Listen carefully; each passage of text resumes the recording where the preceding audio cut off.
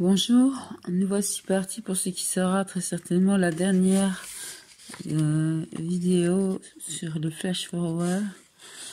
Euh, et ça, c'est une anticipation que je fais là. bon, voilà, il reste euh, une vingtaine de pages, 22 pages. Et on aura terminé. Donc, je continue. 3.1. L'image cinématographique comme résolution du dilemme entre le corps et l'esprit. Audiovisualisation des deux modes de vie du Christ. Le flash forward vient donc ultimement résoudre le conflit spirituel entre la chair et l'esprit qui hante le récit. Donc, nous sommes dans la dernière tentation du Christ, pour rappel. Hein. Le flash forward vient donc ultimement résoudre le conflit spirituel entre la chair et l'esprit qui hante le récit depuis son commencement. Rappelons que le récit commence en nous faisant entendre la voix intérieure, over de Jésus, et l'a fait intervenir à diverses reprises. Cette voix over qui s'accompagne toujours des trois interprétations possibles, la première étant une voix intérieure présente, la seconde étant la voix d'un narrateur passéifiant, l'image, la troisième plus atypique se voulant la synthèse des deux, soit une marque de décorporation de l'esprit, de son autonomie relative par rapport au corps, dialectique son image. Résolution du conflit spirituel donc, en l'exacerbant à un premier niveau de lecture, sur sa croix Jésus aspire à une vie d'homme, et à la fin de sa vie d'homme il aspire à mourir sur la croix, et en le résorbant à un second niveau de lecture, le rapport entre la chair et l'esprit n'étant plus en définitive interprétable comme une opposition, mais comme une certaine complémentarité, cela par le biais de l'imagination. 3.2. Le flash forward confrontant Jésus à une mort anodine. Comme révélateur, Jésus faisait inscrire dans l'histoire comme fils de Dieu. Le soulagement, le désir de ne pas être le Messie est assouvi et se prolonge par une vie d'homme imaginée au terme de laquelle se trouve un autre désir, celui d'être le Messie. Il se formule devant la mort et non pas devant la vie. C'est cette fin humaine qu'il rejette et non son déroulement. Le paradoxe se résout de la façon suivante. La vie d'homme n'étant qu'imagée, elle est dans son fait réversible, elle est dans sa fin réversible. Ainsi elle peut combler illusoirement. La subjectivité s'est gardée dans l'illusion toute sa force, son impression de réalité. Le vide de l'existence historique, fondation d'un foyer, plaisir charnel, tout en transcendant la fin du sujet, désir de résurrection. On remarque par ailleurs que tout en synthétisant les grandes étapes de la vie d'homme du Christ, le flash-forward ne lui en donne pas moins de la consistance. Il est composé de 258 plans répartis en dix scènes, qui séparent des ellipses à forte portée et recouvrant près d'une demi-heure du temps du récit. Le flash-forward est là pour témoigner que le Christ non seulement a vacillé, qu'il a cédé spirituellement à la tentation, mais que cet assouvissement illusoire qui le change que c'est cet assouvissement spéditoire qui le change. Le retour sur la croix ne peut gommer la postériorité de la manifestation de la volonté de mourir en fils de Dieu. La compréhension après coup du spectateur, malgré l'indication du basculement moral signifié par un panoramique, va de pair avec le revirement moral du Christ. La stratégie narrative est telle que même si le film a, provoqué l'anathème de l'Église, il n'en a pas pour autant substitué au dogme une élucubration quelconque. Le récit ne joue pas sur le mode de la substitution. L'imaginaire a joué son rôle au sens plein, rôle machiavélique. Le fait que le film ait suscité tant de passion montre combien la vie d'homme l'imaginait a un rôle déterminant. En marge de la réalité effective se trouve la réalité de l'âme. Le flash horror raconte l'histoire psychologique du Christ alors qu'il est sur la croix. Il dévoile la véritable chronologie des événements et le rêve en étant, bien qu'il soit impalpable. C'est après avoir vécu, faut-il dire éprouvé, sa vie d'homme que Jésus se repent et plus encore, c'est au seuil d'une mort anonyme que son attitude psychologique change. Le flasher ne s'interrompt pas à la première étreinte charnelle. Elle n'est plus refusée. La mort de Marie-Madeleine tient lieu d'une révolte, mais pas outre mesure. Jésus se laisse guider par son pseudo-ange gardien d'étape en étape, de Marie-Madeleine à Marie, sœur de Lazare. Il se révolte contre Saul qui proclame sa résurrection, mais rien ne le rappelle à lui. La narration continue à représenter sa vie jusqu'au moment ultime, l'imminence de sa mort, après avoir entendu à son chevet trois de ses disciples dont Judas, lequel lui montre que l'ange était précisément Satan. Le flash-forward n'est pas d'une facture inconsciente, cascade d'image mentale. Il est un autre monde, d'univers intérieur du Christ, où semble se jouer le drame d'une vie d'homme de près de quarante ans de la descente de croix jusqu'à la destruction de Jérusalem par les Romains, historiquement datable 70 ans après Jésus-Christ. Encadré par deux plans de lui sur la croix, l'un où il exprime son sentiment d'abandon et l'autre où il accepte son sacrifice. Le flash forward est la technique narrative dont la narration use pour nous signifier que l'acceptation de la mort sur la croix par le Christ résulte d'un refus de l'histoire, soit d'une volonté d'entrer dans l'histoire avec un grand H, de transcender la mort physique. C'est la projection imaginaire de Jésus à la fin de sa vie d'homme, c'est le fait de s'être vu vieux au seuil de sa mort qui précède le réveil du Christ sur la croix. On nous objectera qu'il serait nécessaire d'avoir une autre version de la réalité, que la narration se poursuit jusqu'à la descente du Christ de la croix, exclure l'apparition de l'ange démoniaque, alors que Jésus est sur la croix, il nous assurait, ainsi que le flash forward relève bien de la responsabilité du Christ, et que le retour sur la croix est bien un retour au présent et non un flashback après la vie réelle d'homme ou du Christ. Mais cette hypothèse ferait perdre tout sens à la dernière phrase prononcée par le Christ, tout est accompli, qui est consécutive au même environnement que Jésus regardait avant son doute et vient en somme se substituer à pourquoi m'as-tu abandonné? Le monde enchâssé a comme caractéristique d'être non réel, mais il est la vision qu'a Jésus de ce que serait son avenir s'il n'était pas mort sur la croix. L'irréalité du monde enchâssé n'annihile pas, pas pour autant la visée temporelle du futur. C'est elle qui entend qu'elle est pensée par le Christ, qui motive le revirement spirituel du Christ et qui aboutit à la suppression du doute. S'imaginant à la fin de sa vie étouffée de remords, le Christ accepte sa condition. C'est le seul biais qui réalise selon nous l'unité du Christ. Aspirations humaines et surhumaines sont comblées. Le Christ meurt, il y a sacrifice, et il a imaginé sa vie future s'il n'est pas le Messie. Nouveau paradoxe puisque l'esprit exalte la chair en son fort intérieur. Nous livrons une sorte de catharsis à propos de laquelle un débat peut être ouvert en vue d'une reconsidération du rôle anthropologique de l'imaginaire l'imaginaire étant le réceptacle de l'anticonformisme dont font preuve les auteurs. 4. Le flash-forward comme agent de refus de l'histoire. Arborescence du récit. 4.1. Arborescence du récit. Ce point relatif au récit, présentant une construction narrative en forme d'arborescence, proposera dans un premier temps une réflexion de ces récits au niveau paradigmatique, avant d'aborder dans un second temps le niveau syntagmatique établissant la jonction entre les deux niveaux de réflexion, l'objection selon laquelle la dernière proposition narrative véhicule la vérité sera par ailleurs discutée, ainsi que les implications d'une prédominance accordée au parcours syntagmatique. 4.1.1 Opposition des paradigmes narratifs. Certains récits commencent par raconter une histoire en respectant la chronologie dans laquelle les événements sont censés s'être déroulés puis abandonnent leur ligne de direction pour se transformer en arborescence. Le début du film fait alors figure de tronc commun aux différentes issues possibles. Il tient lieu d'exposition. La démarche narrative prend ensuite plusieurs fois pour objet un même intervalle de temps de l'histoire, plutôt que de choisir parmi les différents paradigmes narratifs possibles. Elle choisit de ne pas choisir et les présente successivement au spectateur. Puisque le récit se constitue par la répétition successive d'un même schéma narratif, constitué par différentes variations d'un même intervalle de temps diégétique. Chacune de ces variations acquiert, de par sa position dans la structure narrative, dans la sphère de l'irréel après le tronc commun du réel, un même degré de réalité. Chaque flash-forward insère un futur possible. Réduisant les éléments constitutifs de son corps au rang de possibilité, ce type de construction narrative en vient dès lors à, se caractériser, à caractériser une vue peu encline au déterminisme, nous renvoyant par conséquent au test sur la contingence du temps. Il y a arrêt apparent de la narration au seuil de son réel, mise en suspension de la suite de l'histoire pour cause de prospection dans l'avenir. Cette répétition d'un même intervalle de temps est une stratégie qui théoriquement élude le recours à la création d'une intrigue secondaire. La fonction de cette dernière qui est de développer une autre forme de l'idée génératrice du récit que celle développée par l'intrigue principale, d'aborder la problématique sous un autre angle, à travers des personnages secondaires, est en effet assumé par le dédoublement de l'intrigue principale elle-même. Aucun personnage n'a de caractère ou de comportement particulier qui le constitue. Les situations sont montrées comme pouvant impliquer n'importe quel personnage. Les motifs se répètent et les visages des protagonistes sont échangés.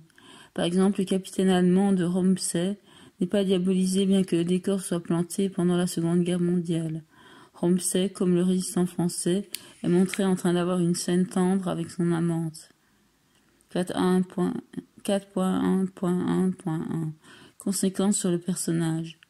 Ce type de flash-forward ne participe pas au développement d'une histoire, il la fait s'éclater, et montre que le cours de l'histoire que l'avenir s'écrit au jour le jour. Or, sans histoire, c'est-à-dire sans fait concret, par opposition à psychologie, fait irréel, le personnage n'existe pas. En l'absence d'histoire et conséquemment de personnage, le récit s'aventure vers un au-delà, plus qu'une simple absence de caractère emprisonné dans un manichéisme, apprenant une leçon de vie, ou illustrant une nouvelle fois le mythe de Pygmalion, le récit appréhende l'idée, le récit appréhende l'être en substance, le saisit en puissance. C'est une conscience vorace qui refuse de se fixer sur un élément, qui vise tout en tout. Le personnage n'est plus l'incarnation de l'idée de bien ou de mal, ou la conversion de l'un à l'autre, moyennant un délai, temps du récit. Il est, soulignons-le, en puissance, puisque saisi avant le choix qui le constituera aux yeux du monde. Cette orientation narrative présente un personnage sans identité, ou plus exactement comme ayant conscience d'une identité à construire, dans les cas de figure où il est à l'origine des différents possibles. Faisons ici une parenthèse a priori, cette dimension créative peut sembler absente des récits appliquant le même principe narratif, mais en l'orientant vers le passé. Car lorsque nous avons diverses versions du passé d'un personnage, celui-ci se présente comme cherchant la vérité sur un événement, ce qui par exemple est à l'origine de son état psychologique présent. C'est-à-dire que le passé est vu comme ce qui fonde et recèle le secret de l'identité. Cette idée n'implique pourtant que les flashbacks, exprimant le travail de la mémoire, et cela dans le but de saisir ce qui a été, afin de révéler, le cas échéant, notre exemple, l'événement clé qui jusque-là était refoulé. Ce dernier, ce dernier sera dès lors considéré comme ce qui est à l'origine du trouble psychologique actuel en question. Or, la dimension créative peut aussi être une qualité du flashback, pour peu que le personnage invente un passé. L'audiovisualisation de ce qu'est le docteur ce que le docteur Maisy imagine du passé d'Alexandre Stavisky dans Stavisky est créative. Bien qu'il vit ce qui a été, il ne le connaît pas. En marge de cette imagination qui prend pour objet le passé pour retrouver la réalité, on trouve également le mensonge qui lui aussi est créatif. En conséquence, ce n'est donc que parce que la pratique narrative voit dans le passé ce qui explique le présent qu'elle est le plus souvent exploitée en ce sens que les flashbacks sont davantage considérés comme participants d'une quête de vérité. La mémoire du personnage apparaît alors comme l'instrument permettant de faire revivre le passé, d'accéder à une connaissance de l'histoire avec un grand H. Un instrument parfois imprécis, certes, mais le seul instrument possible. L'idée de contingence du temps peut pourtant mobiliser le flashback pour s'exprimer. Pensons à L'ange de la vie est belle, It's a Wonderful Life, de Frank Capra, 1946, qui après avoir empêché le personnage incarné par Gary Cooper de se suicider, lui montre ce qu'aurait été la vie de ses proches s'il n'avait pas vécu. Le passé comme ce qui n'était qu'une possibilité parmi d'autres. Toujours pour relativiser la portée des fonctions attribuées au flashback ou au flash-forward, soulignons que l'avenir n'est pas davantage l'objet de prédilection des thèses relatives à la contingence du temps. L'avenir ou l'idée que le personnage s'en fait peut déterminer son présent. L'hypothèse est un questionnement sur soi-même et sur ses possibilités. Les flash-forwards exposant divers futurs possibles lorsqu'ils sont subordonnés au point de vue d'un personnage présentent en fait d'abord un type de relation entre le personnage et l'avenir. Mais que l'arborescence de la narration vient signifier l'absence de vocation du personnage, il n'en reste pas moins lié à elle, fût-ce sous forme de nostalgie. Pour que le divers possible lui apparaisse, il faut que lui préexiste l'idée d'une prédestination. Ayant conscience d'être possible, le personnage n'en recherche pas moins sa voie à suivre. Sa confrontation avec la contingence du temps n'est pas gratuite. Qui plus est, la conscience de l'évanescence des choses nous apparaît être le facteur de la dévalorisation de la vie terrestre.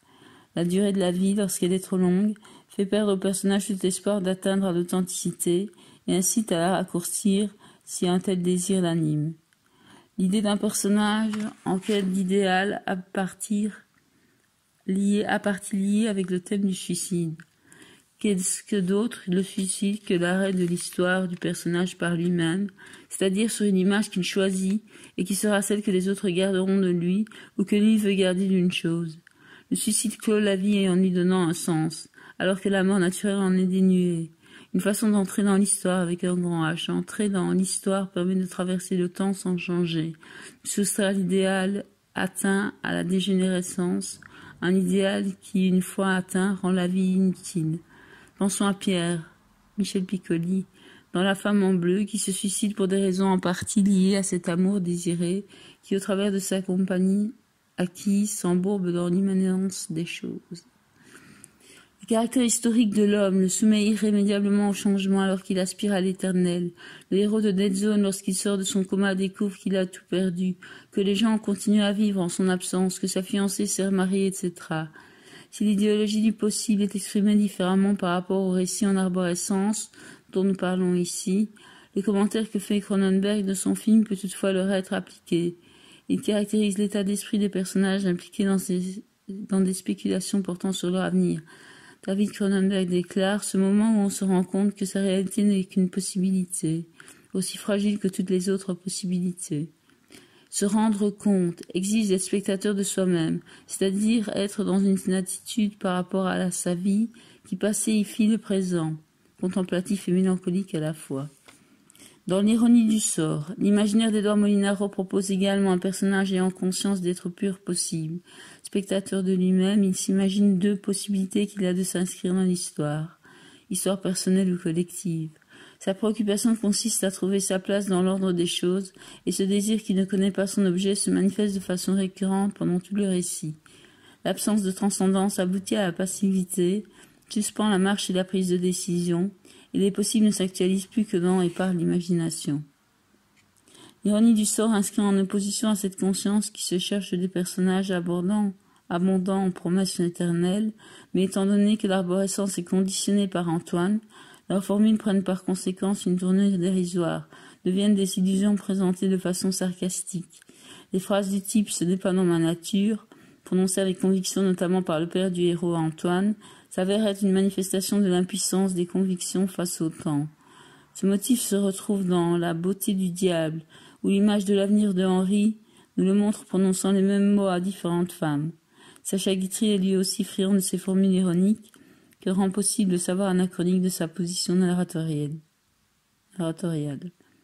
C'est la conscience d'être un être historique qui arrête le présent du film et fait dévier le récit dans l'avenir imaginaire, le personnage a vis-à-vis de sa situation présente un rapport post-mortem. Il anticipe l'image qu'il laissera de lui après sa mort, soumet deux possibles à un jugement esthétique sur base d'images et idéologique. La narration dans l'ironie du sort expose tout d'abord l'enjeu de l'histoire.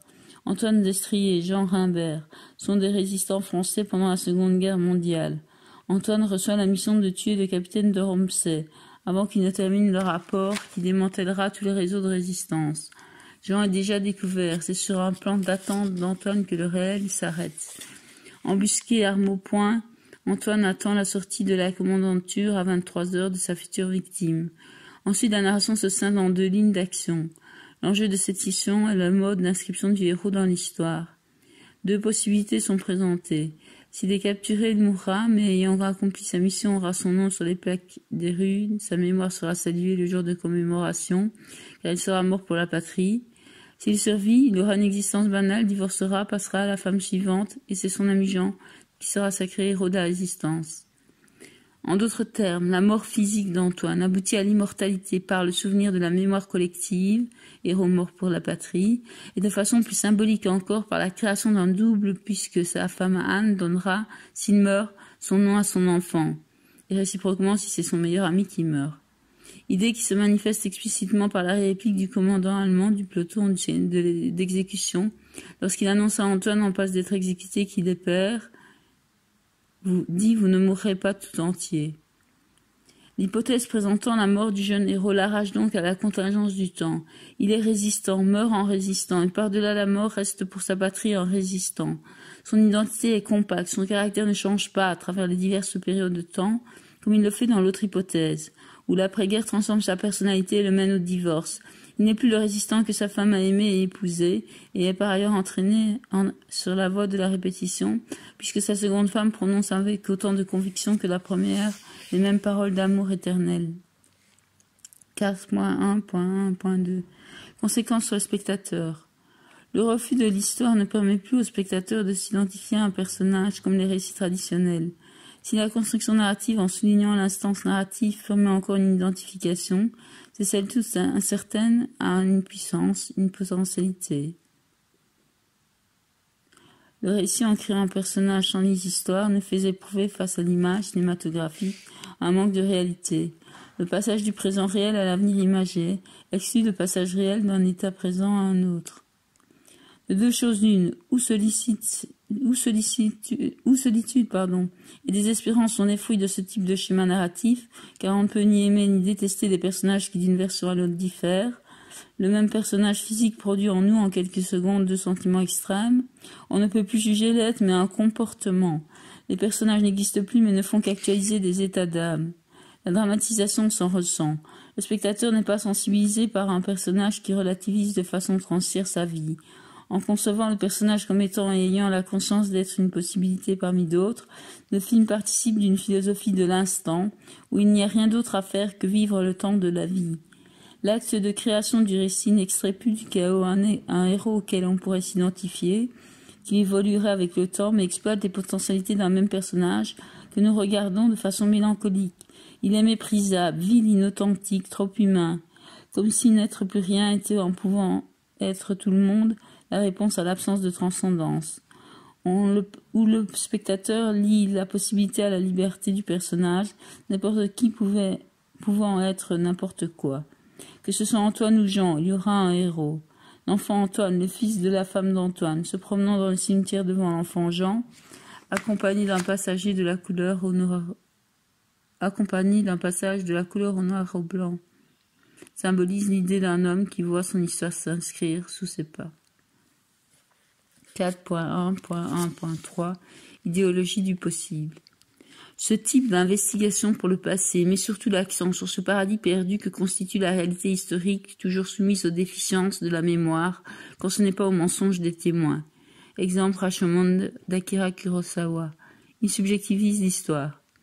Créer un effet sujet sur chacun des, des versions sur chacune des versions, ou créer différents possibles d'une même action, tout en laissant la responsabilité narrative à l'instance narrative première, sont deux modes d'exprimer le côté subjectif de l'histoire, la réalité comme possible. Pardon. L'idéologie du possible, en plus d'être reflétée par la construction narrative, apparaît aussi dans les matériaux utilisés. Dans le diptyque d'Alain par exemple, la présentation des personnages se fait dans un langage de bande dessinée. Le jeu des acteurs renvoie au théâtre. Les neuf personnages de l'histoire sont répartis entre les seuls Sabine Azema et Pierre Arditi. Dans Cours le la cour, la descente des escaliers est exprimée par le cinéma d'animation, les futurs des personnages que la jeune fille bouscule par quelques rapides plans instantanés photographiques. Par conséquent, l'image cinématographique elle-même n'apparaît plus que comme étant un mode d'expression possible de l'histoire. Le choix de la bonne prise pour construire une intrigue, en d'autres termes, comment donner vie à une narration sans histoire a priori, est à considérer selon nous comme l'histoire d'une narration, comme une volonté de transcender la mort, en ne faisant que postuler la vie. Les personnages ne sont pas prédéterminés. Le cinéaste ne s'impose pas le s'impose le moment décisif du choix. Ils sont en puissance. Ils ont créé sans histoire. Ils ont été créés sans histoire. Mais le triomphe symbolique sur la mort fait, payer un lourd tribut à la vie. Il est communément admis que c'est la mort qui donne un sens à la vie, en en permettant la synthèse. Dans l'ironie du sort, les deux possibles entremêlés peuvent être reconstitués par le spectateur, car une des lignes d'action est en couleur et l'autre en noir et blanc. Le retour sur le plan d'Antoine attend en attendant en embuscade la sortie à 23 heures du général allemand, réglé comme une horloge prussienne, marque l'absence de prise de prise de parti. Oula, pardon. Il ne nous apparaît pas que la couleur manifeste la réalité, mais bien plus qu'elle est une façon commode de reconnaître les deux possibilités. Par ailleurs, le noir et blanc ne renvoie-t-il pas plutôt à l'inscription du héros dans l'histoire, avec un grand H? Il est utilisé pour des images d'actualité venant du front que nous voyons lorsque les héros sont au cinéma. Il n'est pas moins possible que l'autre hypothèse. Il n'est pas moins probable que l'autre hypothèse. La position stratégique du titre en fin de film accentue l'idée selon laquelle l'histoire n'est pas faite, et pour reprendre les mots de Tennessee Williams, cité en exergue, nous dirons que N'importe quoi pourrait être n'importe quoi d'autre, cela aurait autant de sens. L'œuvre artistique s'avoue ainsi comme résultant d'un certain hasard, contribuant elle-même à sa démystification. 4.1.1.4 Répercussions sur la réceptivité de l'œuvre d'art. Le refus qu'ont ces récits de déléguer la responsabilité de la narration à un personnage particulier ou à une série de personnages révèle, tout en l'assumant, le caractère aléatoire de l'œuvre cinématographique. Ce choix de ne pas choisir produit un choc en nous, spectateurs habitués à auréoler les déroulements des films, des films que nous aimons, un caractère d'inévitabilité. Ce n'est plus au détour d'un livre narrant les pérégrinations d'un scénario que se révèle l'aléatoire de la construction narrative, mais directement à la vision même du film. À propos dont on connaît la chanson, le monteur de Luz, de disait lors d'une interview, Arte, l'atelier d'Alain René, René avait fait jouer à Agnès Jaoui la scène de l'appartement de deux façons très différentes, que les diverses versions étaient aussi valables l'une que l'autre. La psychologie de son personnage, Camille, n'était donc pas préconçue de façon définitive, même si l'on sait qu'Alain René a l'habitude d'élaborer une biographie de ses personnages. Le nombre important de personnages principaux de ce film rend aussi permutables diverses scènes. La permutabilité des segments narratifs n'est pas spécifique au récit arborescent, même si elle apparaît de façon plus manifeste compte tenu de nos habitus, narratifs et perceptifs, réduit sans doute au maximum la perte de travail du cinéaste. Il n'y a pas de sacrifice, rush inexploité, l'exploitation de ce qui aurait dû être dans un récit traditionnel l'objet d'un choix. Dans son diptyque Smoking No Smoking, la structure narrative n'est pas identique, il y a un léger décalage. 4.1.2 Relation syntagmatique L'idée selon laquelle la dernière proposition véhicule la vérité est conditionnée par différents facteurs. Tout d'abord, on trouve l'apparente contiguïté du dialogue, un mot prononcé dans l'avenir complète une phrase du présent ou une phrase à double sens sert d'embrayeur. Dans l'ironie du sort, la phrase d'Antoine Il faut tout recommencer depuis le début, prononcée lorsqu'il est torturé par les Allemands, segment noir et blanc, est suivie d'un retour à la scène relative au démarrage de l'attraction de l'attraction allemande avant la tentative d'assassinat de Romsey par Antoine. En d'autres termes, bien que l'ordre chronologique ne soit pas respecté, ce type de liaison de scène génère une nouvelle forme de succession logique. Ce type de liaison de scène n'est pas l'apanage des récits arborescents. On peut le retrouver dans n'importe quel récit linéaire où il remplit tantôt la fonction de suture des ellipses, exemple les trajets ne sont pas montrés mais les dialogues continuent, ou donne l'illusion qu'un personnage parle à un autre bien qu'en lieux différents, création artificielle d'un dialogue. A contrario, la liaison de scène peut prendre une tournure en contrepoint par rapport au dialogue. Cet usage est récurrent dans le film d'Edouard Melinaro, exemple. Après la scène où Jean dit à Anne Tu aurais été très heureuse aussi avec Antoine, nous retrouvons l'autre ligne d'action pour assister au divorce d'Anne et Antoine. Un autre type de liaison de scène est l'apparente contiguïté de l'image. Continuité de l'image, l'enfant Antoine filmé en train de marcher devant l'enfant Jean. Ces différents types de liaisons adoucissent les ruptures de telle sorte que l'interprétation peut différer d'un spectateur à l'autre. Soulignons que si la dernière proposition apparaît être la bonne, ce n'est selon nous pas tant parce que la narration complète son mouvement, son voyage dans le temps, que parce qu'elle se rappelle rappelle au spectateur d'où elle est partie. Lorsque le récit d'Edouard Molinaro revient sur un plan d'attente, il rappelle au spectateur qu'Antoine est en fait toujours en embuscade sous la porte cochère dans son véhicule à la différence d'un récit comme Cours le la cour, qui lui ne rappelle pas au spectateur qu'il est dans une hypothèse. Il ne revient pas à la scène où Lola raccroche le téléphone après sa conversation avec Mani, exposition du film. Le spectateur assiste par conséquent à une sorte de pastiche de happy end. 4.1.2.1 Objection, vérité de la dernière proposition. Dans Cours le la cour de Tom Tickwer, le tronc commun des trois possibles diégétiques dure une quinzaine de minutes. Le film comptant 70 minutes. Il reste 60 minutes pour les trois possibles diégétiques qui sont donc chacun présentés en temps réel. Lola a 20 minutes pour trouver 100 000 marques et ainsi sauver son copain Mani qui a perdu la somme qu'il doit rendre au caïd à midi précise. La première issue suggère la mort de Lola, abattue par un représentant de l'ordre alors qu'elle sortait du supermarché, qu'elle venait de cambrioler avec Mani.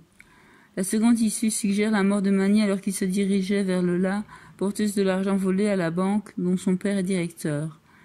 La troisième est une issue heureuse puisque Mani récupère le sac avec l'argent qu'il avait initialement perdu dans le bus et qui avait été ramassé par un clochard et que Lola, de son côté, a gagné la même somme en jouant à la roulette. Les partisans du primat de la dernière proposition nous diront qu'à l'inverse des récits où le dieu est insensible au sort du personnage et montre sa toute-puissance en le toisant, caméra en plongée, travelling arrière, il semble ici obéir au principe de la seconde chance. effaçant son passé recommençant l'histoire, répondant au désir manifesté tour à tour par chacun des personnages de ne pas mourir. Si on adoptait cette position, alors le récit prendrait une tournure fantastique et non réaliste. Le même intervalle de temps ne peut être vécu trois fois différemment. Le cinéaste a imaginé trois possibilités. Si la dernière est préférée par le spectateur, ce n'est pas parce qu'elle apparaît en fin de récit, mais parce qu'en l'absence d'une quatrième, proposition, il n'y a pas de retour en arrière au niveau syntaxique. L'ordre des trois dénouements est conditionné par une forme d'équilibre, la mort de l'un, puis celle de l'autre, et enfin la survivance des deux. On peut y voir l'idée que l'amour est consécutif à la mort, de chacun dans son individualité, mais on change alors insidieusement de registre. Le film qui se clôt par la prise d'un cliché photographique, arrêt sur image, n'assure pas, loin s'en faut, la vérité de la dernière proposition. On remarque une série de clichés photographiques se manifestant lorsque le bouscule trois personnes, la passante, l'employé de banque, le cycliste, synthétisant chaque événement de leur vie, montrant ainsi que la seule variation du moment où Lola les bouscule changera leur destinée. Mais ces différentes destinées s'excluent d'une l'autre, preuve que leur médium, la photographie, ne véhicule pas la vérité au niveau global du récit. Les clichés sont différents dans chaque version. Ainsi, l'imaginaire de T. Tiquer élabore l'histoire d'un couple qui doute d'être fait l'un pour l'autre. Il ne s'agit donc pas d'un récit se fondant sur le mythe de l'âme sœur, mais du récit d'un profond désemparement né de cette conscience que l'autre, qui est tout aurait pu être quelqu'un d'autre, qui survivra après notre mort, et réciproquement, idée que pousse à son paroxysme la forme narrative adoptée. 4.1.2.2 La narration court vers son destin, parcours et relations syntagmatiques. Insistons sur ce fait, le premier futur possible peut influencer l'interprétation des autres, par la connaissance qu'il apporte au spectateur. Même si du point de vue du degré de réalité, les trois hypothèses sont sur un même pied, elles se présentent en succession. La conséquence en est que les variations peuvent trouver leur raison d'être dans une des hypothèses antérieures. Le rapport du spectateur aux dernières hypothèses est donc dénaturé. Dans Cours Lola court, Lola semble avoir retenu qu'il faut enlever le cran d'arrêt du pistolet, du moins, pouvons-nous l'interpréter ainsi, c'est-à-dire comme le fruit d'un apprentissage, parce qu'elle ne le savait pas lors de l'attaque du supermarché de la première hypothèse, et que nous la voyons enlever lors de la seconde. Une lecture de ce type considère avant tout le parcours syntagmatique, car si on prend en compte la narration en tant qu'elle se compose de trois possibles, la seconde version peut postuler que Lola a déjà cette connaissance, nécessité de retirer le cran d'arrêt du pistolet, et par conséquent elle ne peut plus être interprétée comme un apprentissage issu de la première hypothèse. En d'autres termes, il convient de distinguer les trois possibilités qu'aurait Lola de sauver Mani, les trois futurs possibles de l'action, la première attitude a privilégié le parcours syntagmatique et la seconde les oppositions paradigmatiques. Comme nous l'avons dit, seule une interprétation établissant l'inscription dans le genre fantastique peut légitimement permettre le premier type de lecture. Le conflit entre ces deux attitudes est la conséquence de ce que nous interprétons comme une volonté de transcender la fin du récit. Le récit aurait pu s'arrêter après le premier possible. Aucune nécessité dramatique n'exige les deux autres issues. En se liant à la figure de la répétition, la narration répond en marge du désir scopique de voir et revoir le même canevas narratif, le même plan au désir de sublimer la mort, puisque la première issue possible est virtuellement la fin du récit. Une parenté se lie inexorablement entre la fin du récit et chacun des possibles. À titre d'exemple, rappelons que si Lola a vingt minutes pour sauver Mani, le récit s'octroie, si l'on peut dire, vingt minutes pour raconter le premier possible. Si le temps du récit est imposé, le fait que le cinéma soit un enregistrement lui permet de répéter un même intervalle de temps. Le temps du récit apparaît derrière la construction narrative comme un temps à remplir et non nécessairement comme un temps de délai pour exprimer une idée.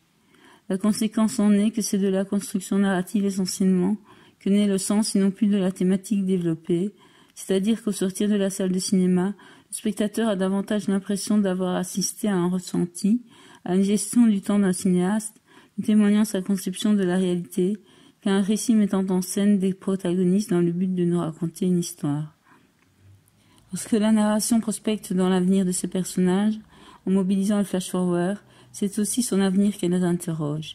La construction narrative adopte une perspective plus qu'originale à l'égard d'une notion comme celle du happy end. En intégrant la mort de chacun des personnages dans divers possibles, elle la transcende. À un plan de Lola mort succède, morte succède un plan de Lola vivante. Le parcours syntagmatique est lié à l'idée de résurrection, au triomphe du récit sur l'histoire. Il est tel que répondre à la question comment raconter le film sans en raconter la structure? devient impossible, et c'est dans cette impossibilité que se trouve l'idée d'un triomphe symbolique sur la mort. Un dédoublement s'opère en nous, car le film nous l'avons vu vivant, parcours syntagmatique, et nous le racontons en termes de possible, opposition paradigmatique. Nous avons, après l'avoir vu, un regard froid, un point de vue global qui synthétise et livre à notre interlocuteur la charpente du film, l'idée qui lui a donné naissance. Signalons encore que lorsqu'ils intègrent leur fin virtuelle en leur corps, les récits arborescents ne laissent plus aux spectateurs de possibilité de pressentir la fin du récit. Le cumul des possibles est théoriquement illimité. Dans Smoking, dans Smoking d'Alain René, à chaque fois exploiter l'arborescence narrative. De façon autoritaire, les cartons viennent informer le spectateur de l'intervalle qui lui est peut exposé, une nouvelle fois sous un autre angle. Il peut s'agir de cartons définissant la durée de l'ellipse, exemple cinq jours plus tard, cinq semaines plus tard, etc., ou de cartons indiquant ce qui est à l'origine de la variation. Succession de deux cartons, le premier ou bien, le second il, elle, dit.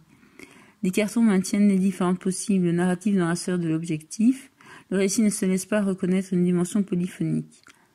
Ce qui se dégage de la synthèse des deux plans de lecture syntagmatique et paradigmatique, outre le lien des récits arborescents avec la figure de la répétition et des répercussions sur les piennes, c'est que le temps du récit ne cesse de s'écouler, même si le spectateur a l'impression que le film recommence. Pour l'histoire de la narration, chaque possible est une étape, et chaque fin virtuelle un dépassement. 4.2 La structure en boucle. Flashback, flash-forward, un éternel mouvement. Si l'on peut dire des récits discutés ci-dessus qu'ils exposent différents avenirs pour mieux manifester l'absence de sens de l'histoire, refusant de se terminer, de conclure une histoire qui n'a jamais véritablement commencé, voulant saisir toutes les facettes de l'aide dans une sorte d'étude phénoménologique, il en est d'autres qui visent un éternel mouvement, une perfection narrative. L'effort matériellement vain, tout film ayant un dernier plan, aboutit néanmoins dans l'esprit du spectateur. En commençant par la fin de l'histoire, ils font d'elle un recommencement. La structure en boucle est aussi une manifestation d'un refus de l'histoire. Rien ne semble s'être passé et tout semble à venir dans des récits du type de, bout de la nuit de. Où le spectateur en fin de récit est ramené mentalement à son début. Le récit est un gigantesque rêve prémonitoire, à la fois passé et à venir, donne l'impression de se soustraire à l'irréversibilité du temps, puisqu'il est hors de lui. La femme en bleu de Michel Deville adopte une structure en boucle également. Le film commence lorsque Pierre, 45 ans, musicologue à la radio, rentre chez lui. Mais la jeune fille est la mort de Schubert, va à la pharmacie, avale des médicaments, puis s'étend sur le lit. Un fondu au noir manifeste le temps écoulé. Le meilleur ami arrive en soirée, découvre Pierre et le téléphone retentit. Trois filets vont succéder, gauche cadre, à cette scène d'esthétisation du suicide de Pierre par Pierre lui-même. Il met de la musique romantique, et les filets s'enchaînent avec un plan de téléphone hurlant, de Pierre à la douche, puis un plan de lui décrochant le téléphone. Michel Devine montre le dénouement dès le départ. Il, est pour le spectateur la première et la dernière image comme si rien ne s'était passé. Mais qu'en est-il pour le personnage? Si la quête absolue du personnage aboutit à un suicide, le suicide semble aboutir à une quête d'absolu. La structure soustrait l'événement du suicide à l'histoire, à l'ordre naturel chronologique. L'effet de boucle produit se transforme le rapport cause-conséquence.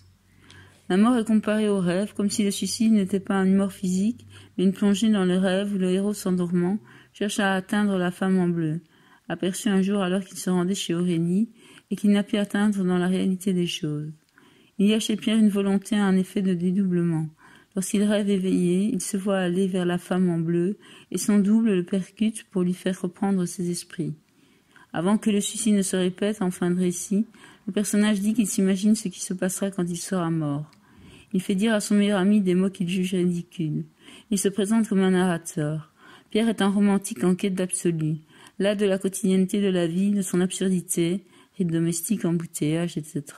Ces états d'âme se manifestent à travers la musique de Schubert et Béla Bartok, qui vient recouvrir les paroles alors muettes de ses interlocuteurs lors de la soirée privée. Pierre n'entend que cette musique mélancolique à laquelle certains découpages de scènes doivent d'ailleurs leur durer. Le récit se clôt lui-même, refusant de donner de lui autre chose que l'apparence d'un rêve. Plus la narration progresse, plus elle court vers son commencement, poussant l'absence de sens jusque dans sa forme. La durée du récit n'a d'autre sens que de retrouver sa forme primordiale. Il s'agit d'un récit sans intrigue, d'une quête dans Paris de Pierre et Aurélie, à la recherche d'une femme que Pierre ne veut pas trouver.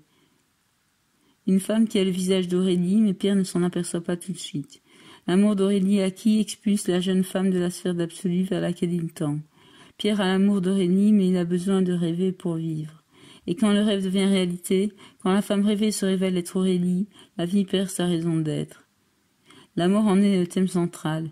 Elle fait l'objet d'un pari. Pierre dit qu'il se tuera s'il ne retrouve pas la femme en bleu. La durée du film apparaît dénuée de sens, le sens n'étant que, que de boucler la boucle. Comme si le mot sens ne renvoyait plus qu'à une orientation dans l'espace et non à une quête métaphysique. La polysémie des mots les ampute dans un sens intrinsèque. Et lorsque l'agent de police représentant de l'ordre lui indique qu'il peut rouler dans la rue à sens interdit, c'est tout le code de la route qui s'ébranle, perdant lui aussi sa, perdant lui aussi sa raison d'être. Pourquoi le héros choisit-il la mort puisque de toute façon il mourra? La réponse est dans la volonté de donner un sens à ce qui n'en a pas. Il échappe à la mort naturelle comme le film donne l'illusion d'échapper à son destin, le dernier plan.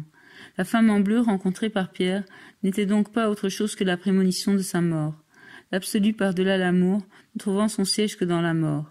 N'est-ce pas non plus dans le désir d'absolu qu'il faut voir le revirement moral du Christ dans la dernière tentation du Christ? Rappelons qu'après la mort de Marie-Madeleine, Jésus se remarie avec Marie, la sœur de Lazare, car il n'y a qu'une seule femme sur la terre. La répétition visuelle des images unifie le film. Faisant retour sur lui-même, il acquiert une forme parfaite. La scène du suicide ne rythme pas la narration. Le flash-forward transforme le temps présent en délai. Il détermine l'échéance. Il ne rythme pas le récit comme les images du rêve de Cole dans l'armée des douze singes, qui elles prennent la forme d'un leitmotiv visuel. Dans l'armée des douze singes, Terry Gilliam nous rappelle à différentes reprises l'instant primordial de son récit. La scène de l'aéroport où Cole, adulte, s'écroule dans les bras d'une femme, sous les yeux de Cole, enfant. Le rapport au temps se révèle déjà dans la thématique abordée. Le héros voyage dans le temps de l'histoire, il est déjà hors d'elle, hors de la durée. Périodiquement, le temps profane, la durée, sont abolis par cette mémoire qui replonge en rêve jusqu'à la scène sacrée où se réalise la synthèse des temps. Le refus de l'histoire est exploité dans sa forme fantastique la plus simple. Le sang des eaux de Claude Chabrol propose lui aussi une circularité du récit, mais de manière moins accentuée compte tenu du traitement qu'il en fait. La scène qui débute et clôt le récit est plastiquement la même, mais la première ne comprend pas le dialogue, qui est remplacé par la musique de fosse du générique. Cette circularité du récit n'est pas sans rappeler la pratique du plan emblème qui avait cours dans les premiers temps du cinéma. Jeunesse du générique de prédestination. Nous sommes en 1903 lorsqu'apparaît le plan emblème, ce plan qualifié par Burge d'espèce de portrait, pouvant figurer au début, à la fin ou aux deux extrémités du film. Sa fonction sémantique était d'introduire la principale donnée du film, Rescued by Rover, le bébé d'or, le chien veille. De résumer le noyau du film, que ce soit sa morale à la fin de Our British Bulldog Union, the Union Jack, le chien filmé de près le drapeau sauvé entre les dents, ou son astuce de base à la fin du bailleur pâté 1907, le bâillement irrépressible du protagoniste unique, ressort comique du film, casse en gros plan une courroie qu'on lui a nouée sur la tête. Si Noël Burch aimait l'hypothèse que Porter, dans The Great Train Robbery, l'attaque du Grand Rapide 1903, cherchait peut-être à surmonter le caractère impersonnel des silhouettes lointaines par le biais d'un gros plan emblématique, et bien que ce soit en définitive l'exploitant qui en déterminait la place, ces plans emblèmes sont pour nous la première manifestation de l'anticipation.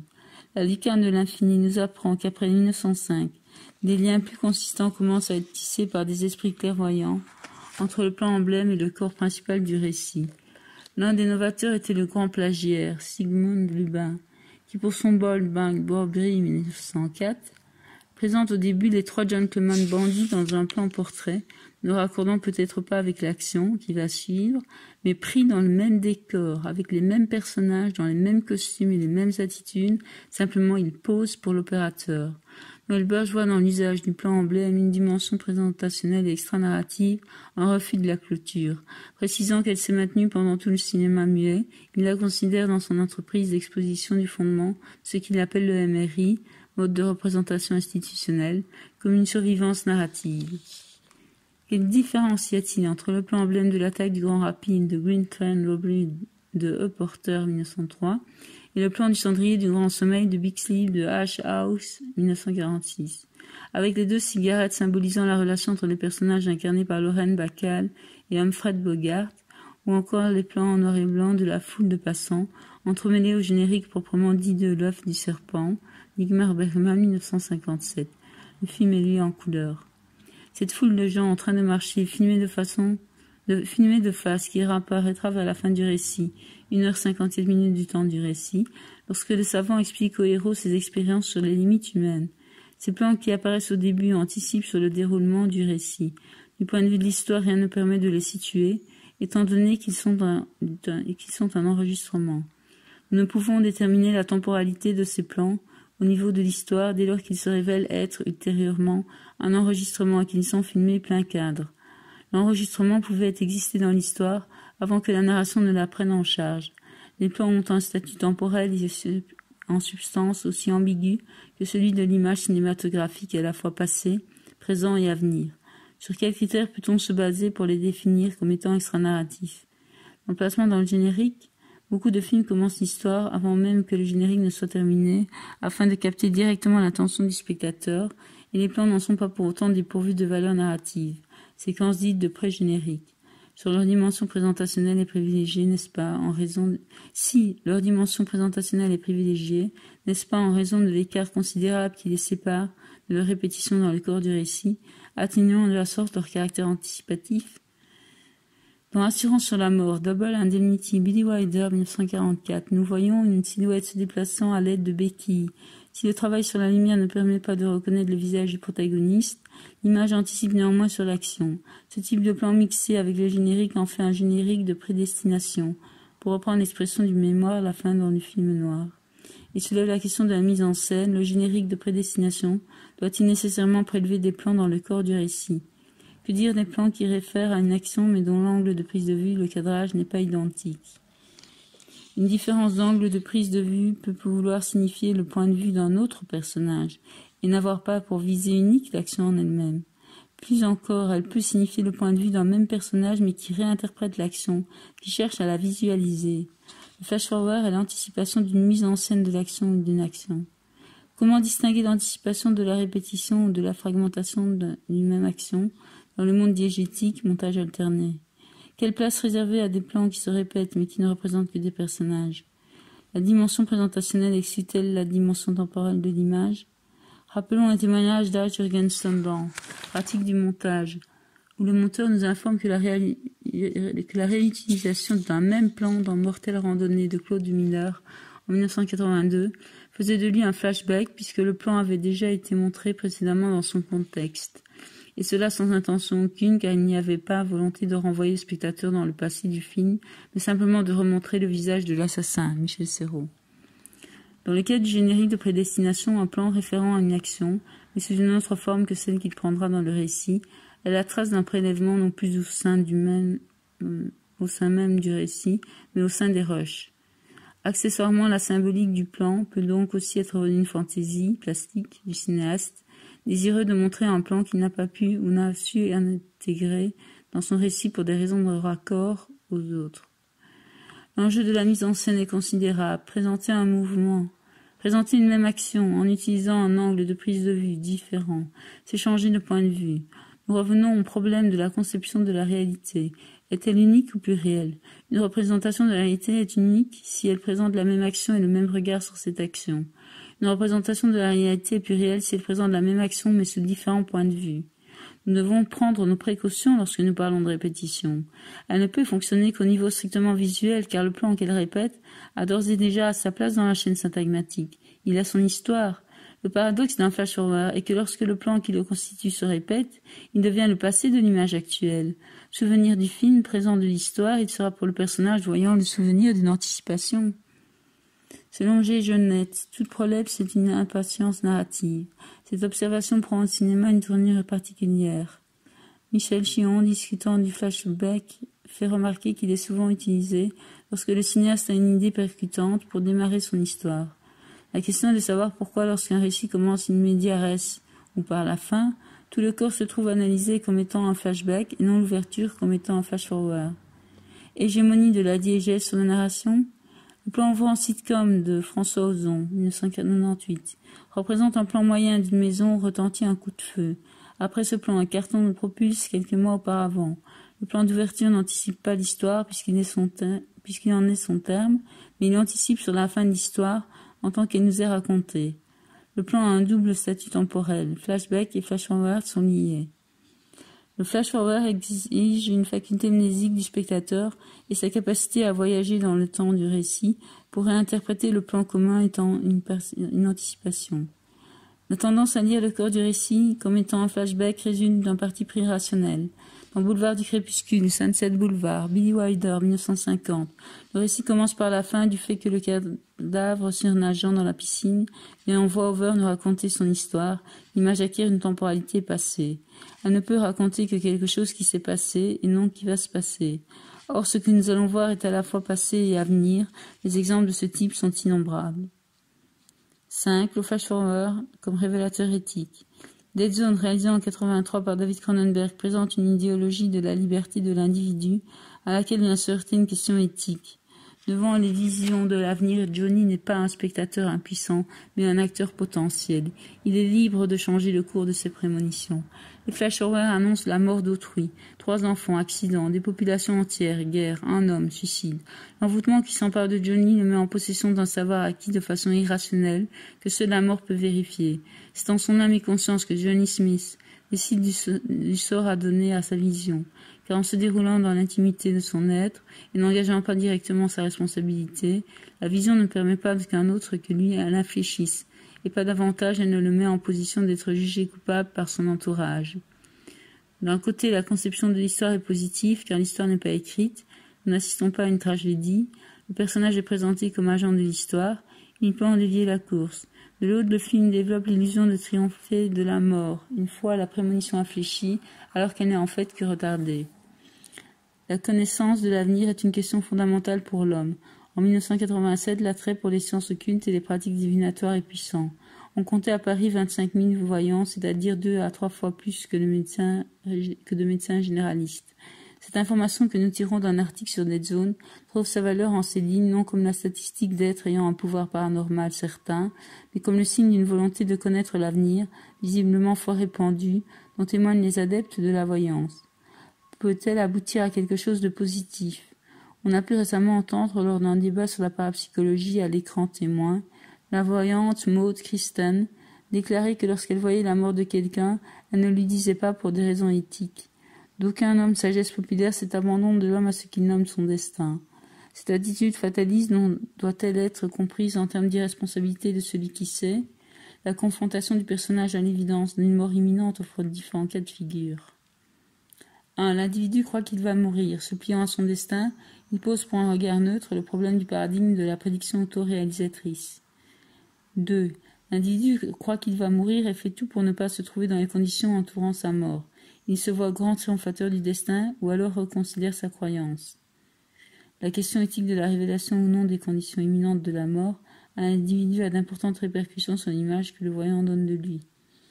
1. Le voyant révèle la mort qui est évitée n'a pas de preuve qu'elle était fondée. Elle risque de passer pour un. Il risque de passer pour un fou. 2. Le voyant révèle la mort qui est évitée, mais les éléments réunis sont en nombre suffisant pour lire l'infléchissement d'une prémonition. 3. Le voyant ne dit rien et sacrifie l'individu pour évaluer son pouvoir psychique, répondant à l'exigence de preuve de la démarche scientifique. 4. Le voyant cherche à éviter le malheureux, le malheur, mais ne le peut, complexe de Cassandre. Dans Dead Zone, le voyant est mis dans la confidence de la mort d'autrui. Cette connaissance de l'avenir aboutit à différentes attitudes morales. Johnny révèle au père de Chris qu'il va mourir s'il va jouer au hockey, informant ainsi le responsable de l'enfant qu'il côtoie sans s'intéresser outre mesure du sort des deux autres enfants présents dans sa vision. Lorsqu'il déduit la mort imminente de population en voie de missile, Johnny décide de passer lui-même à l'acte en ôtant la vie à l'instigateur. Lorsqu'il voit la mort de Stimson, Johnny est en, est satisfait. Ainsi, la vie humaine n'a pas de valeur en elle-même, elle reste dépendante de l'individu. 5.1 Flash-forward, condamnation sur base d'intention.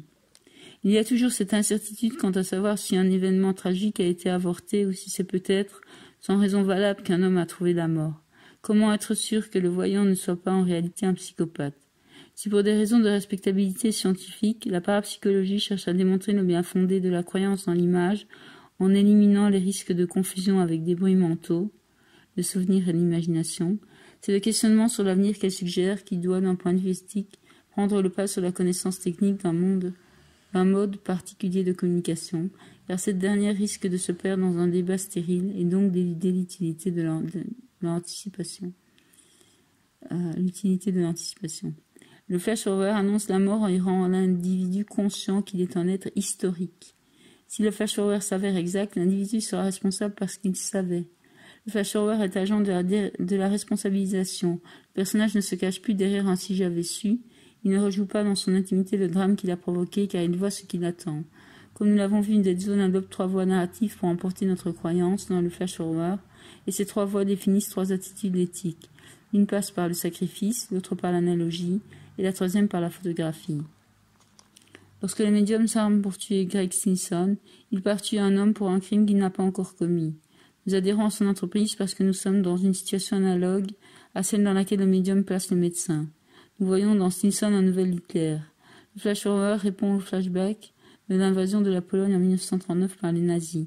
Il anticipe le retour cyclique de l'histoire. Les prémices d'un bégaiement de l'histoire sont là effrayantes. Le discours de Stinson semble avoir les marques de cette situation anti-hitlérienne.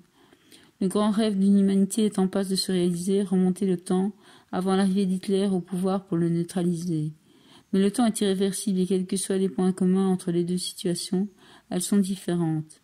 Johnny est enseignant de formation, on lui reconnaît des qualités intellectuelles permettant son rapprochement, mais il ne le fait pas. Avant la vision, il n'assimile pas Stinson à Hitler. Il le fait alors qu'il a connaissance du militantisme de son ex-fiancée Sarah pour le démagogue. Notre approbation du sombre projet de Johnny, bien qu'elle ne se fonde pas sur une croyance démesurée dans l'image médiumnique, mais sur l'expérience, sacrifice rapporté des deux enfants, n'en pose pas pour autant un problème éthique. Il y a condamnation anticipée, c'est-à-dire sur base de projets et non de faits. Ce sacrifice déjà odieux de deux enfants ne doit pas être celui d'une humanité. Certes, on nous met dans la conscience d'une extermination à venir. Nous devenons responsables. La vérification de la prémonition a nécessité leur sacrifice. Jamais le médium n'a essayé de les trouver pour leur dire que la glace allait se briser. Il s'est contenté d'en sauver un seul. C'est ce sacrifice qui nous assure du bien fondé des visions. Flashover, dans ce cadre-ci, permet de nous interroger sur l'utilité de voir l'avenir, si ce n'est pour s'en prémunir. Faut-il pas qualifier de débordement de manque d'éthique l'attitude consistant à attendre impassiblement que la prémonition se réalise Le progrès de la science, la démonstration de la vision médiumnique, a-t-elle plus de valeur qu'une vie humaine? Dans la vision présentant, le démagogue en passe de déclencher une guerre atomique. Celui-ci dit qu'il croit qu'il doit accomplir sa destinée. Cette vision, parce qu'elle est avant tout le point de vue du médium, peut toujours prêter à soupçon. C'est afin d'éviter ce soupçon que la scène autonome représentant Stinson faisant du chantage à un journaliste a semble-t-il été greffée. On voit combien Cronenberg va contre l'idée de destin. Il met le spectateur face à sa croyance dans l'image. La vision que dit avoir vu le démagogue n'est pas représentée. Nous aurions pu avoir une vision dans une vision. Qui plus est, la vision du médium aurait pu être insérée au moment où le démagogue dit qu'il deviendra président, qu'il a eu une vision. Le flash-forward est dans l'optique du film présenté, non comme le destin du personnage, mais comme ce qui, étant donné la tournure que prennent les événements, sera, il aurait été la... sera. Euh, donc, je, je répète, le flash-forward est dans l'optique du film présenté non comme le destin du personnage, mais comme ce qui, étant donné la tournure que prennent les événements, sera. Il aurait été la figure du destin s'il avait été le point de vue du démagogue dans un récit dont il eût été le narrateur. Le flash-forward est ce qui permet de garder un regard positif sur un personnage malgré l'acte négatif qu'il s'apprête à commettre. Acte qui ne se concrétisera pas. Alors qu'il a le démagogue dans le champ de son fusil, le médium suspend son geste. Le politicien vient de prendre l'enfant de l'ex-fiancé du médium dans ses bras afin de se couvrir. Le médium aurait peut-être celui, aurait pu être celui qui tient l'enfant de la femme aimée dans ses bras. La suspension du geste participe de l'identification du médium au politicien. Elle lui sera fatale. Le sbire de Stinson l'abat d'un coup de pistolet. Gisant sur le sol, le médium est empoigné par le politicien qui lui demande qui l'a envoyé. C'est alors qu'il a son intime vision, où nous voyons Stinson se suicider. À l'avant-plan, la couverture du magazine Newsweek, représentant Stinson, s'abritant derrière un enfant et à l'arrière-plan de la couverture, le visage du médium et la bannière étoilée. C'est après que la vision du médium est produite et que Stinson lance son sbire à la poursuite de Dardy, le photographe du magazine Newsweek, comme s'il avait eu aussi la vision. Véritablement, Stinson semble être cet hideux démon dont la légende du dormeur du Val parlait lors de la première scène du film, et dont le futur médium se sentait frappé d'une sollicitude non voulue. La fusion est totale. Le récit se clôt par la mort du héros et la vision de mort de l'anti-héros. Mais cet anti-héros ne meurt pas dans l'espace du film. Il, est, pour ainsi dire, gagnant une survie au héros. Nous avons souligné combien le flash-forward permettait d'expliquer la motivation du héros à dessein. On voit dans le dernier plan du film que le médium finit dans les bras de sa bien-aimée, lui confessant Johnny, je et qu'il ne tue pas l'anti-héros. C'est l'anti-héros qui se suicidera, non le médium qui le tue. Si la vision de mort du démagogue rassure le spectateur, elle transforme aussi l'image de Stinson. On peut trouver deux motivations dans son futur suicide. Soit il se tue en pensant sa carrière politique définitivement finie, soit il prend conscience de ce qu'il a fait et s'inflige lui-même un châtiment. La mort de Stinson ne torturera pas l'âme du médium puisqu'il meurt. Son attitude face au suicide est éludée par la mort physique. Le flash transforme le temps en délai. Maintenant un événement de l'histoire, il délimite l'espace de liberté où l'individu peut agir. L'histoire semble vouloir bégayer lorsque le flash-forward répond au flashback. Or, si la condamnation sur base de faits ne pose pas de problème éthique, la condamnation sur base de pensée, elle en pose. Le traitement que fait Cronenberg du suicide est significatif à ce sujet. Chacun des deux parties, chacune des deux parties du film se clôt par un suicide. Le violeur a plusieurs viols avec meurtre à son actif. Son suicide nous est montré en direct. Nous sommes dans une attitude du spectateur voyeur. Par contre, le démagogue n'a pas déclenché une bombe atomique. Cronenberg nous montre son suicide en anticipation. À une guerre virtuelle répond un suicide virtuel. virtuel. Nous sommes dans une attitude de spectateur voyant. Ainsi, lorsque l'on parle du flash-forward, on ne peut précisément parler qu'en termes de vision de l'avenir, et non d'insertion d'un futur réel. Si le médium infléchit le cours de ses prémonitions, c'est que ces prémonitions ne sont pas la représentation de la réalité historique. Le récit ne participe donc pas de l'idée d'une réalité écrite à l'avance. Elles ne sont, pas elles, ne sont l'anticipation que de ce qui, étant donné les configurations actuelles, va se passer. L'accent est mis sur l'individu voyant en tant qu'il construit l'histoire. La connaissance de la mort est génératrice d'angoisse dans des zones. La révélation de la mort reste paradoxale en elle-même dans la mesure où la condition humaine est d'être pour la mort. À quoi bon repousser la mort? Quel sens a la durée? On achève bien les chevaux, ne défend pas l'idée de la vie à tout prix, mais pose avec lucidité le sens de la durée et développe l'idée de libre arbitre. Faut-il achever Gloria? L'atmosphère fataliste ne laisse pas de place à la négative. La chanson du pianiste reflète bien l'état d'âme du film. No remorse, no regrets, we should pass exactly as we made. 5.2. Le complexe de Cassandre. Dans l'armée des douze singes, la psychiatre Catherine Riley, Madeleine Stone, définit le complexe de Cassandre comme l'angoisse de l'anticipation doublée de l'impuissance à empêcher le malheur. Les dialogues succédant aux prémonitions de mort prennent souvent une tournure dérisoire. Ainsi entend-on dans l'armée des douze singes la psychiatre Catherine Riley, Madeleine Stone, dire Personne ne va mourir, c'est une création de votre esprit, une, future, une fuite de la réalité parce que vous refusez de l'assumer. La thématique de la prémonition de mort est souvent liée à celle de la folie, compte tenu du mode de communication irrationnel par lequel l'individu a son information sur l'avenir. L'individu voyant qui annonce la mort est souvent décrédibilisé par la société. Il met son ordre en péril. Lorsque Johnny dit que Chris va mourir dans un accident s'il va au hockey, il insiste sur le fait qu'il ne veut pas que l'enfant le croie fou. Sa crainte de passer pour un insensé se manifeste à diverses reprises. À nouveau en voix-over, lorsqu'alors qu'il part pour tuer Greg Stinson, nous l'entendons en voix-over lire une lettre écrite à son ex-fiancée Sarah, dans laquelle il dit qu'il sait ce qu'il fait et que personne ne le comprendra.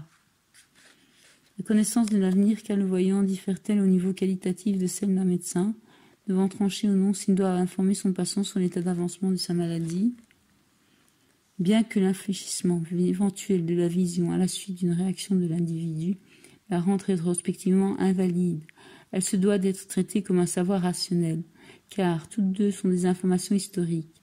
Le savoir du médecin, ses pronostics, peut être démenti dans la minute suivante par la révélation d'une bouleversante découverte scientifique, s'il n'est pas déjà à son insu caduque, faisant jugé par conséquent l'acte d'euthanasie comme prématuré.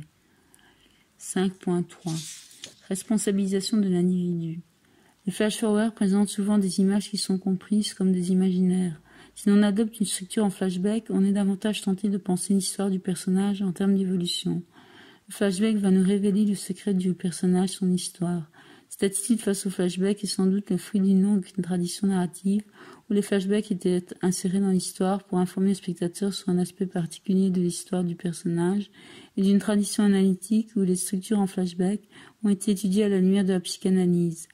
La conséquence en est que cherchant l'origine de la névrose dans le passé du personnage, on fait la part belle au déterminisme. Ce choix idéologique est rassurant. Il en va tout autrement pour ce devant quoi le flash-forward nous met la mort, seule certitude existentielle? Comment guérir l'individu de son angoisse d'être? Lorsque Cole, dans l'armée des douze singes, dit à la psychiatre que cinq milliards d'humains mourront dans l'année, elle lui rétorque Vous délirez, personne ne va mourir. Personnage tourné vers son avenir est un personnage qui se présente comme un individu sans histoire, comme une pure potentialité, alors que le flashback crée l'illusion d'un dévoilement du personnage ou d'une situation, le flash-forward révèle que le personnage ou la situation est en construction. Aussi terrifiante que soit la situation en flashback, elle est pour nous passée. Le flashback s'appuie sur des faits, le flash-forward sur des projets. Ils ne sont rassurants que dans la mesure où ils constituent un terme dépassable avant l'autre. Décisif, lui le flash-forward renvoyant toujours par extension à la mort, peut contribuer à une perte de l'élan vital. Le présent passéifié devient dénué de tout intérêt obsolète. On notera pour finir que le flash-forward peut être l'agent des manipulations historiques. Nous pensons particulièrement au narrateur de l'aveu, dont les pauses didactiques nous donnent une connaissance anachronique. Si elles nous permettent d'avoir de nombreuses informations sur le plan politique, sociologique, il n'en demeure pas moins que la construction dramatique du film, et avec elle le narrateur, puisqu'il en est l'instigateur, participe de la même idéologie que celle des révisionnistes.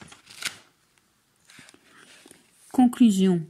Toute tentative d'approche d'un procédé narratif comme le flash-forward implique nécessairement que l'on repense notre conception de l'avenir, puisque c'est lui que le flash-forward entend exprimer.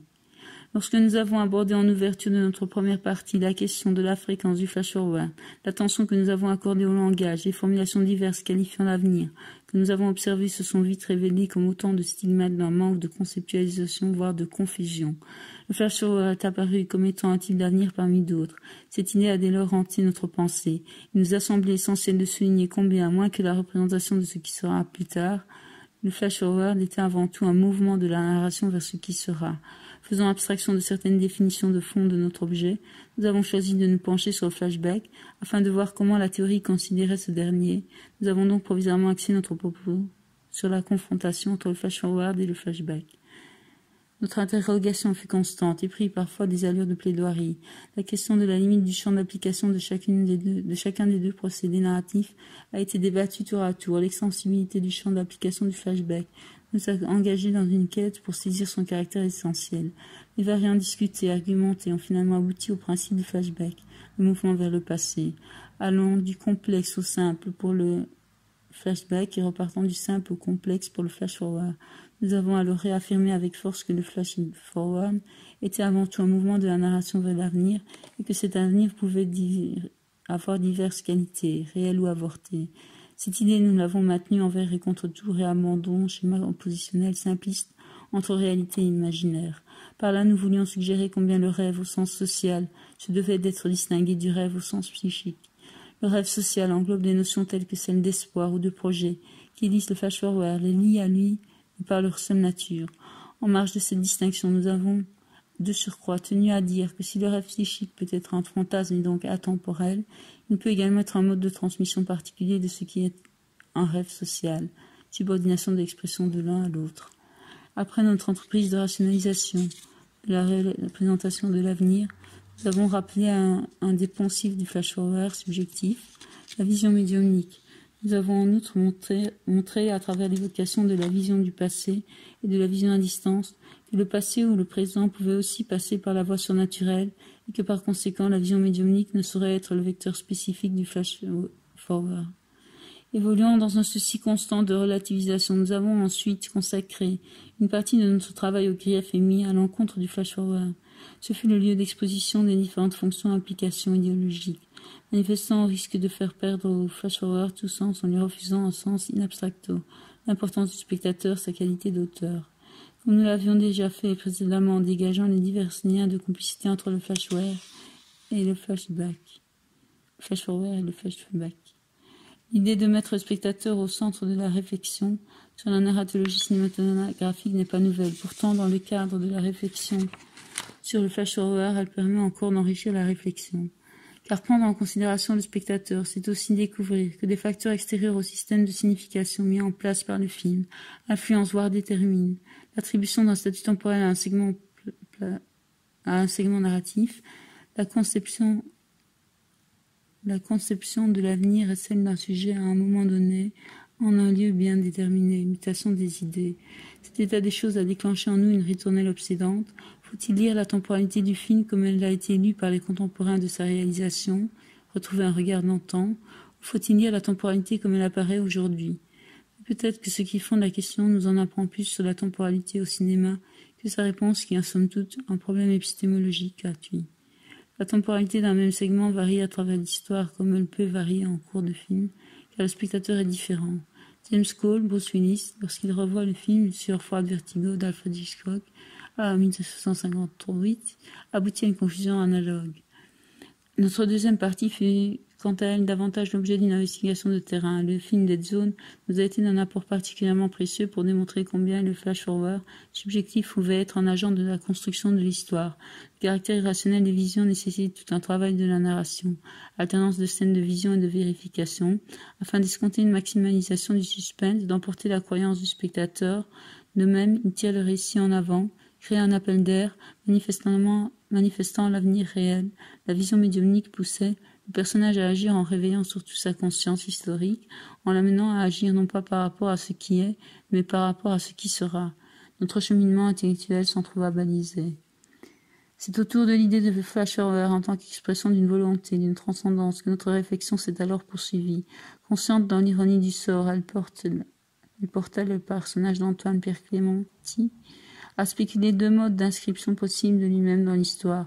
Inconsciente, elle fut l'objet d'un nouveau renversement moral du Christ, Willem Dafoe, dans la dernière tentation du Christ.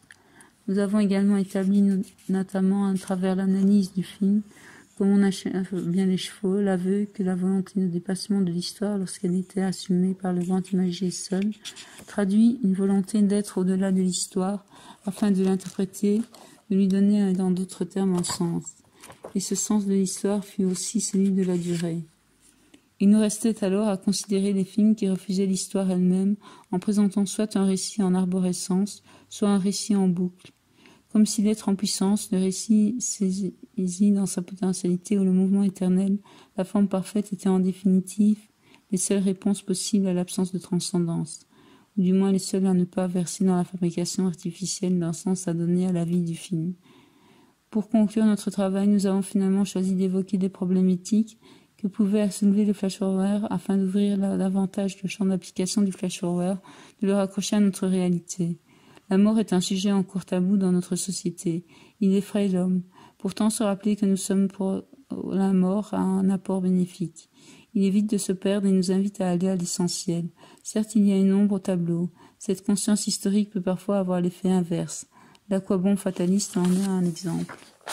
Le cinéma est alors et encore, le cinéma est encore aujourd'hui qualifié d'usine à rêve, conçu comme un divertissement. Cinéma commercial où l'on assiste au triomphe du spectacle. Cinéma de la consommation, en marge duquel subsiste un cinéma d'auteur, encore que le terme soit galvaudé. Un cinéma qui repousse l'idéologie du premier dénonce, le cinéma en cristallisant, concrétisant ou réalisant les illusions d'une humanité frustrée a finalement frustré l'homme de la réalisation de ses rêves. Alors voilà, ma question est, le cinéma rendra-t-il un jour à la vie ses projets, ou persistera-t-il à en faire des rêves que celui est à même de réaliser? Merci. Fin de mon travail d'étude du flash figure de la conscience historique.